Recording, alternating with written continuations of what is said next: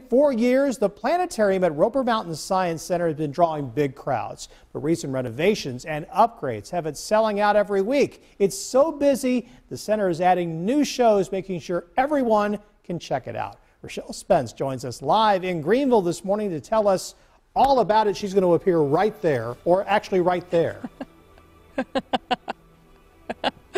Hey, Fred, Tracy, good morning. Absolutely. So I've got the planetarium to myself right now. We all know how fun this is, but it's also educational, which brings out a lot of students, parents, and just a ton of people from the community here in the upstate. And for that reason, people who work here have had to put up the sold out sign pretty much every single Friday for these shows.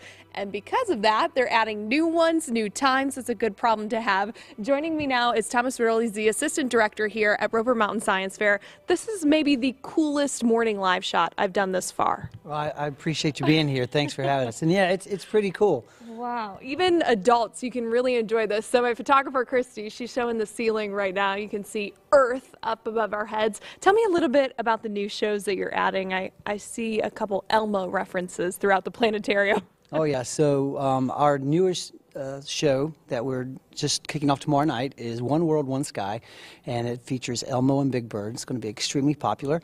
Um, we've demoed it or showed it, previewed it to our staff already, and everyone just fell in love with it. But it's going to be uh, a, a great show.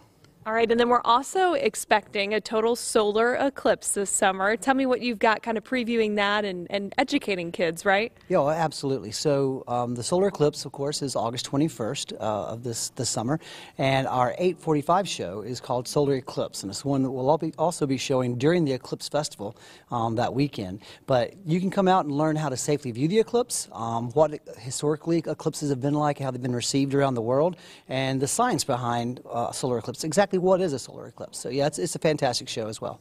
Awesome. Well, thank you so much. Waking up super early with us this morning on Daybreak. If you want to come out, adults it's six dollars a ticket, and then for kids, five. We are live in Greenville. I'm going to kick back and relax in this planetarium. Rochelle Spence, Seven News. How did she get this duty? Nice. I guess we got to should probably get those tickets pretty quickly if you want to go tomorrow night, since considering they go so quickly.